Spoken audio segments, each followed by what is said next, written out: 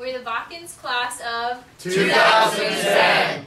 We spent 13 years with Kent Boyd in school.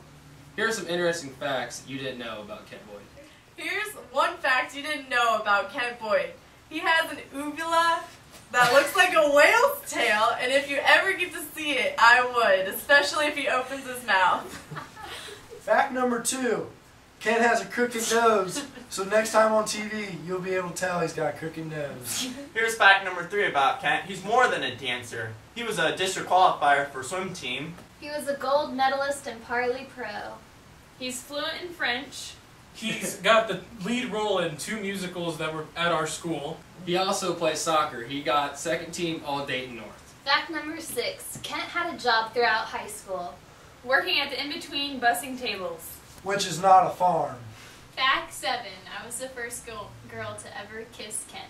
It was at our first talent show and we were in kindergarten and at the end of the dance my parents and his convinced me to kiss him on the cheek and so I did and after that day I was always known as the girl who kissed Kent. Here are some stories about Ken Allen Boyd. One time when we went to go watch a movie, The Lord of the Rings, me and Kent almost got kicked out for spitting spitballs at a bald guy's head. In third grade in soccer, he scored his first goal of the season. He ended up doing a backflip for his celebration. He ended up getting a yellow card. He was mortified ever since. In junior high, we were on a field trip, and Kent dared me to moon the interstate, and we were supposed to do it together, but last minute he chickened out, and then by the end of the day, everyone knew about it, and parents were calling in, and I almost got suspended from school. Yeah, because he was running around screaming, god, Megan, Megan, That was Kent that was doing that? Yeah. Oh, His that's kids running around, oh my god, I can't believe Megan just moved the interstate. And then- and everyone's like, what? What? She's like, he married it for, It or she like moved less than an hour and interstate. we were Yeah, then Mr. the office. Mr. Feynman Yeah. tell Trigo, and then Trigo came out there like. wait, Just come over. kept telling everyone. It was so funny. so I laughed so hard. Red third, he almost got me Kent- suspended. Kent got you in trouble big time. Big time. Our junior year, uh, exam lunch period, Kent Boyd was humiliated when one of his classmates pulled his pants down. His butt mooned all the seventh graders, and they were mortified. I guess that's karma, Kent. You really think Kent is innocent? But actually, he's been in trouble with the law.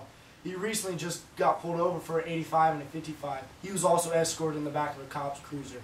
In account of this, he was 20 minutes late for soccer practice. In third grade, I was dating Kent's best friend Eric, and we were on a field trip riding the bus, and I had this big bag of candy, and Kent wanted my candy. So me and his friend were broken up at the time, and he comes back to me and says, Megan, Eric's gonna go back out with you if you give me all your candy. And I'm like, oh my gosh, okay. So I give Kent all of my candy, and then he just took it and ate it, and then he comes back a little bit later and said, I was lying. Eric doesn't want to date you anymore.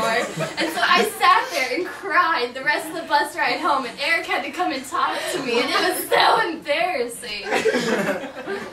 In second grade, me and Kent sat by each other in class, and I had a big crush on him.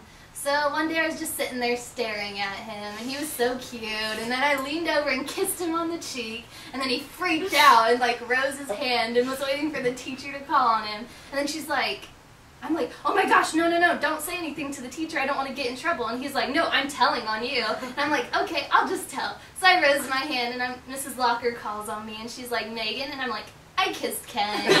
and then she got really mad and said, Megan, keep your hands to yourself. How many of you girls have dated or had a crush on Kent?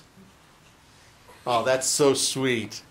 In the second through fourth grade, me and Kent dated, and for that time at the end, I was supposedly said to throw a rock at his best friend Eric's eye, which made him bleed. Therefore, Kent broke up with me, and it was sad. You lost him in fourth grade. I lost him. Here's some of Kent Boyd's favorite catchphrases. Must be turkey season. When he's excited and feels like dancing, he says, shake the devil, and starts to shimmy. Sometimes he'll say, magical Betsy. Mortal! Sweet baby Jesus. Or Bomb Bomb. When anything bad happens, he says, Karma! Bonita. Yippee! This ain't no picnic.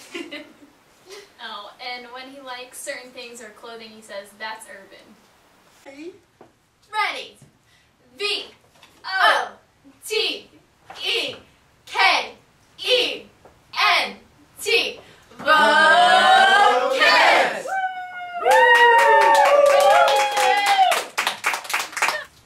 in on Wednesday nights and vote for Kent Boyd.